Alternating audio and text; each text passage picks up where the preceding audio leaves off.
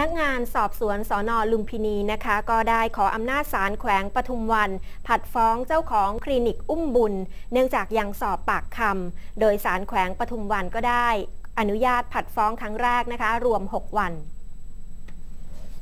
พนักงานสอบสวนสอนอลุมพินี ยื่นคำร้องขออนุญาตศาลแขวงปทุมวัน ผัดฟ้องนายแพทย์พิสิทธิ์ ตันติวัฒนกุล เจ้าของคลินิก All IVF ในข้อหาไม่ควบคุม และดูแลให้แพทย์ประกอบวิชาชีพ เวชกรรมในสถานพยาบาล ปฏิบัติหน้าที่ตามกฎหมาย ว่าด้วยวิชาชีพเวชกรรม และประกอบกิจการและดำเนินสถาน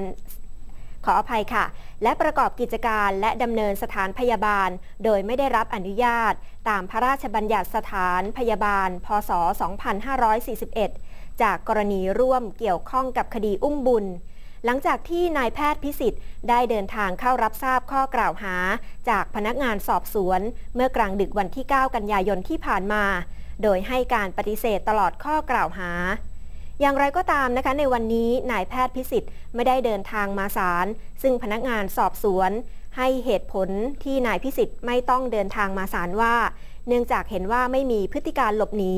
มีที่อยู่เป็นหลักแหล่ง และมาพบพนักงานสอบสวนตามกำหนด จึงไม่จำเป็นต้องนำตัวมายื่นคำร้องต่อศาลในวันนี้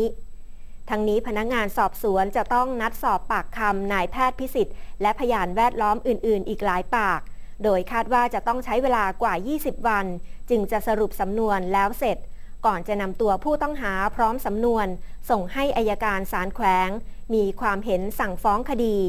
ซึ่งพนักงานสอบสวนมั่นใจว่า พยานหลักฐานที่มีอยู่สามารถเอาผิดกับผู้ต้องหาได้ หลังจากได้ทำการสอบปากคำพยานไปแล้วรวม 14 ปาก ในขณะที่ศาลแขวงปทุมวัน ได้อนุญาตให้ผัดฟ้องครั้งแรกรวม 6 วัน ตั้งแต่วันที่ 10 ถึง 16 กันยายนนี้